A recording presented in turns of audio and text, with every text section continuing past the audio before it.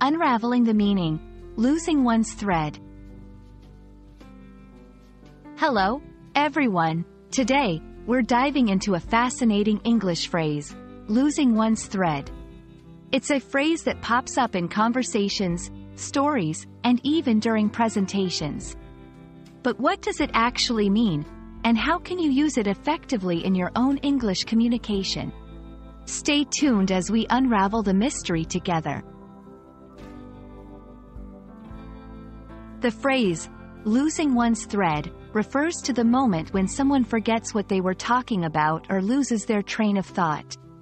Imagine a speaker weaving a story or an argument thread by thread, and suddenly, one of those threads slips away.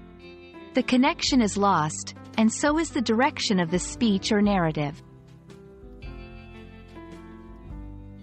Interestingly, this expression comes from the literal idea of losing the thread in weaving, which would make it difficult to continue creating a fabric.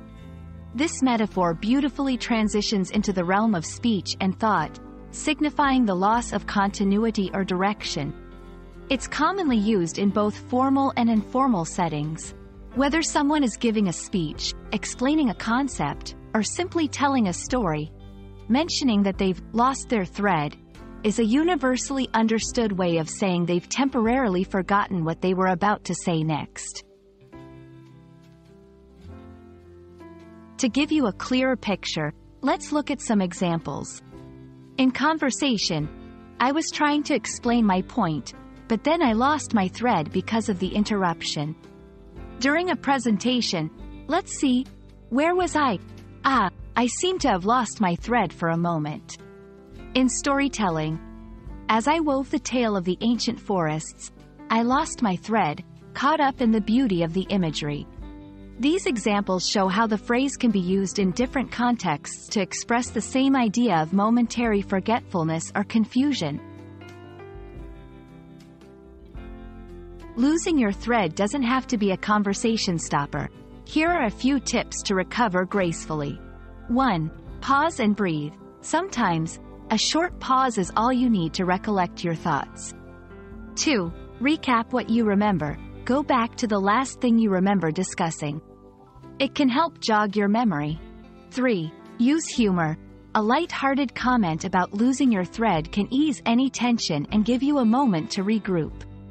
4. Ask for a prompt. If you're in a dialogue, the person you're speaking with might be able to help steer you back on track. Losing one's thread is a phrase rich with imagery and relatability, perfect for describing those moments of forgetfulness in speech. We hope this video has not only helped you understand its meaning and usage but also equipped you with strategies to weave your way back should you ever lose your thread. Happy speaking, and remember, even the best of us can lose our thread from time to time. It's all part of the beautiful tapestry of language learning.